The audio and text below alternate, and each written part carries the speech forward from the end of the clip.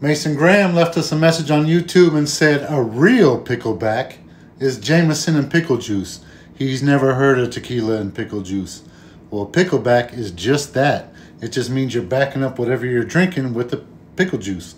So you can have a beer with the whiskey back. It just means you're drinking your beer and you're going to follow it up with a shot of whiskey. So a back is just that. You're following up one drink with another. So it is St. Patty's Day, so we're going to go ahead and do a Jameson with the pickleback. Cheers and happy St. Patty's Day.